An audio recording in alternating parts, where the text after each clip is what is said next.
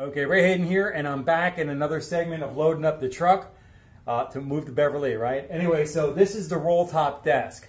Uh, let me make a point about the hunch in the back. In the previous episode or the previous segment, I said we were going to take some soft blankets and everything, put them down here, but my wife said, you know what? She made the command decision to say, no, let's just go ahead and put some soft boxes, lightweight material and stuff like that on there. And this table, this is the table I used to study law on, but this table here um, is the and was my editing computer uh, table for a while too. Uh, when I moved into the front room with Chirp. But uh, this table actually fits on here in such a way that it won't do any additional damage that the cats haven't already done to the front of that piece of furniture. So my wife said, no, let's just keep loading up the way it is. We'll just put lightweight stuff on that. And in all honesty, with the damage the cats have done, it doesn't matter anyway. Let's talk about this roll top desk for a minute. The roll top desk comes apart in four pieces. One of the pieces we are just basically throwing away. It was a keyboard drawer.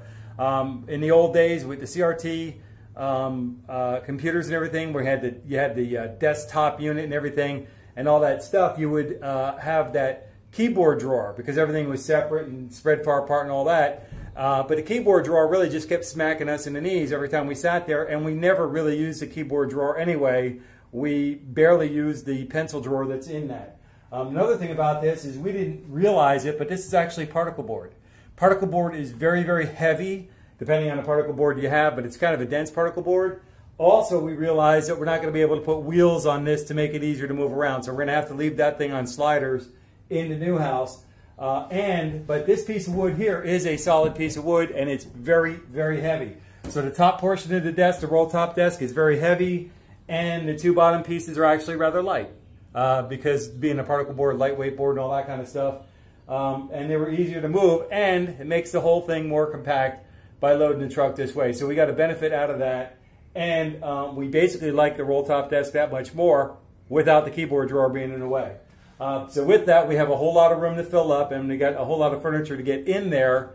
Actually, we don't have all that much, but we got a couple of big pieces that we have to um, basically Tetris. I call it Tetris the thing together. Like Tetris, you got to turn the shapes to fit, like a Soma puzzle, if you remember those back in the day. Uh, you have to turn the shape to fit a certain way. So that's what we're doing here, is trying to figure out what's the best way to puzzle piece the truck together, and that's what we're working on now. But the uh, worst part of the nightmare was that big piece of furniture on the bottom that landed on me. It fell on me once I got it up in the truck. And I got to tell you why. There's this like ditch here. When my foot hit that little ditch, that's when the thing fell on me. So that was, uh, I realized why the thing fell on me but now I'm aware of it and I can be more careful, especially when we get the thing off. And in all likelihood, in all honesty, if the thing starts taking off from me, we just let it go at that point. It's not worth our health, all right? Uh, keep that in mind. It's not worth your injury. So be very, very careful. Get all the help you need, whatever.